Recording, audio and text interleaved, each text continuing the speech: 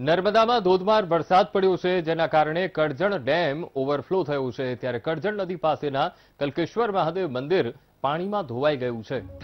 કલ્કેશ્વર મહાદેવ મંદિરની દિવાલો પણ ધરાશાયી થઈ. મંદિરના પૂજારી સહિત કુટુંબના ચાર સભ્યોને બહાર કઢાયા. તલકેશ્વર મહાદેવનું મંદિર રાજપીપળામાં કરજણ નદી પાસે આવેલું છે.